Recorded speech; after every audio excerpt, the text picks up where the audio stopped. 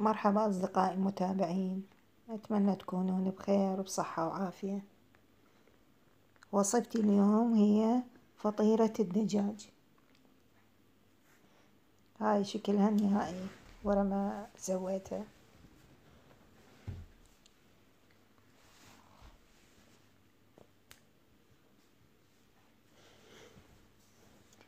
هاي عندي نص دجاجة سلقتها. ويا فلفل أسود وورق الغار وملح وعفتها تنسلق زين.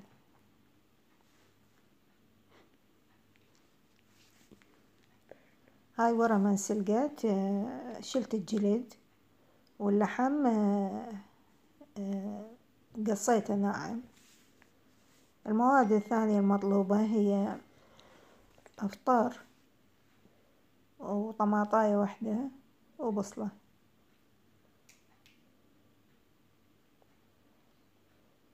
هاي البصلة راح أقطعها على شكل أجنحة يعني نص دائرة.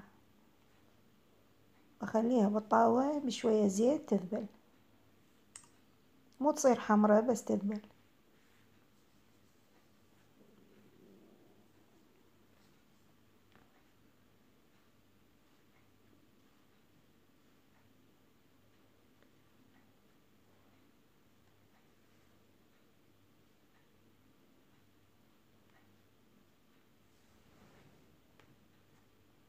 وهذا الفطور هم قطعته وراح أخليه فوق البصل.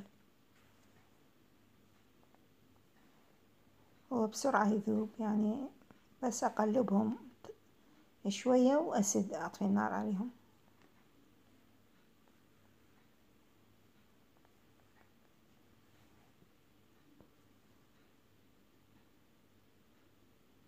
وهاي الخلطة راح أخليها فوق الدجاج وبعدين أتبلها.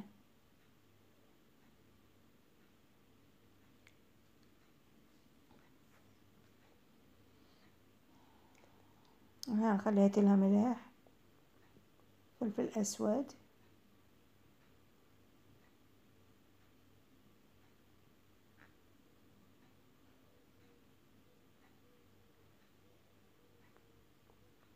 وهاي الطماطاية الوحدة. أسوي آه، بيها مثل الزائد حسب السكين. راح أخلي عليها مي حار أطلع من عندها القشر.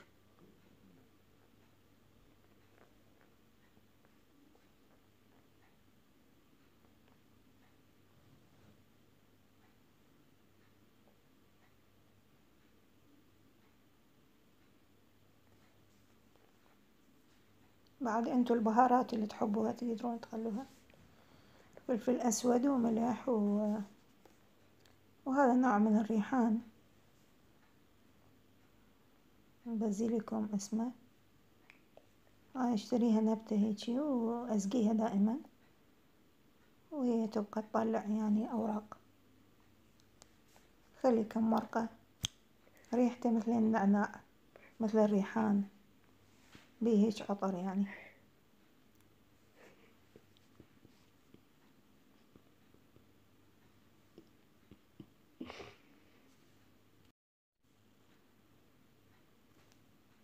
هنا آه، العجينة هي طحين وزيت وخمرة وملح وحليب نيدو وشوية سكر على مود هاي الخميرة كيس الخميرة خلي لها سكر. وخلي لها آه، مي شوية. حتى مي دافي حتى تتفاعل الخميرة. هذه نان الطماطة بعوق قشرها بسرعة بسهولة يطلع.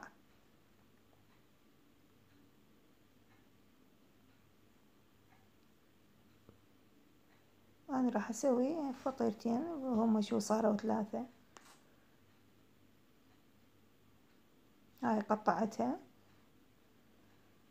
وهاي الخلطة جاهزة. هاي الخمرة هنا تفاعلت. دريت الطحين. رشة ملح.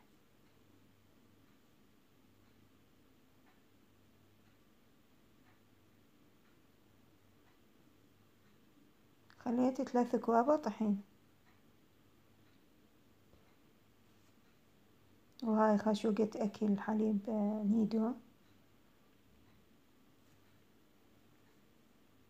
وشوية ملعقة أكل زيت. وأعجنها العجينة بالمي الدافي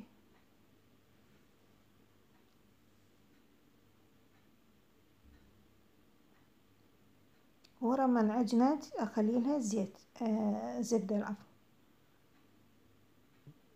هاي هنا باقي بالطاوة شوية سمسم. أعجنها بالزبدة.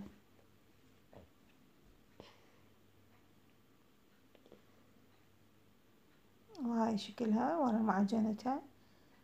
أخليها تختمر أغطيها بخال المطبخ وأعوفها تختمر.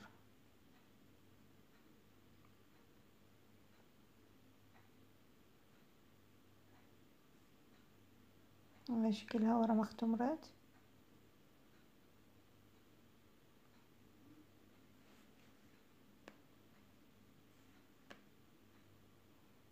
وهاي الحشوة وهاي الطماطة. سويتها قطعتين. بس بعدين آه راح الحواف تبقى هذا السمسم. هاي فتحتها بالشبك وراح أخلي آه معون عندي هذا معون كبير. أسوي دائرة. الفطيرة أسويها على على شكل دائرة.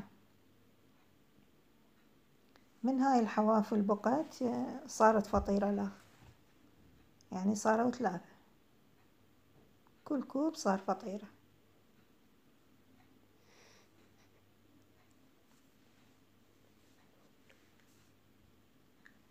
هاي الدائرة راح أخلي الحشوة الدجاج بالمنتصف.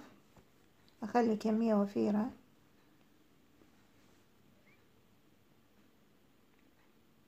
يقدرون صدر دجاج أو لحم مفروم.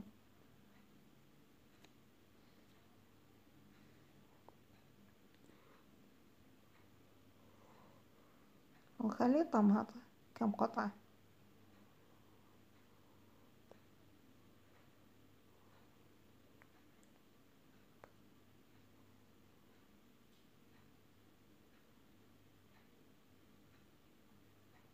وهسه أرشها بالجبن المبروش.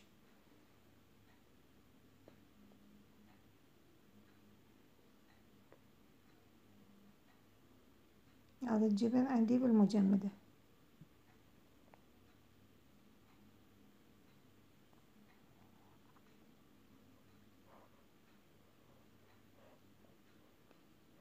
هسه طريقة اللف. نثنيها. شلون نسوي كبسات؟ نثنيها هيجي نكبسها. مثل ما تشوفون. وتبقى من المنتصف مفتوحة. هاي كبسات ثانية ونطويها. هي كلش طرية العجينة. شلون الكبسة بالقماش هاي صارت هيج دائرة نخليها بصينية الفرن وندهنها بالبيض بصفار البيض. صفار بيضة وحليب. دهنت الأطراف. وراح أرش عليها تريدون ترشون سمسم تريدون حبة بركة حبة سودة. هاي صاروا ثلاثة من ثلاث أكواب.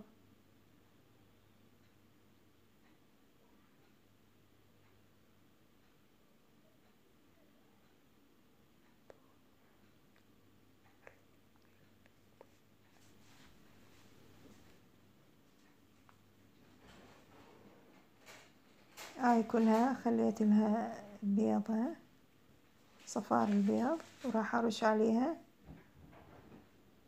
حبة البركة.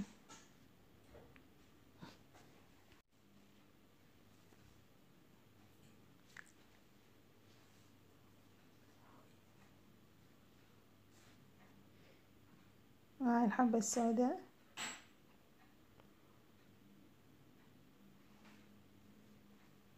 وندخلها على الفرن على أنا دائما أخلي يعني هيجي فطاير أخليها على الفرن أخليها على الجوة بس. هي من تستوي من الجوة يقوم يصعد الاستواء للفوق. هاي ورا ما خليتها بالفرن وأخذت ثلاث أرباع السوا خليت لها البيضة. مع البيضة طلعت ما انتبهت عليها فوقعت من الفطيرة. لازم تنتبهون عليها. هاي ورا ما طلعت وصارت استوت. رشيت عليها كرفس هاي شكلها النهائي. فطيرة طيبة وشكلها حلو. تقدم كل شخص يتقدم له وحدة. وتتقطع و... ويعني تعتبر عشاء تعتبر غدا تعتبر يعني وجبة رئيسية ويا سلطة ونقدر نعتبرها يعني بالسحور تنأكل ويا الشاي وهذه كانت وصفتنا. إن شاء الله تعجبكم وإن شاء الله تجربوها. وتاكلوها بالصحة والعافية. ومع السلامة.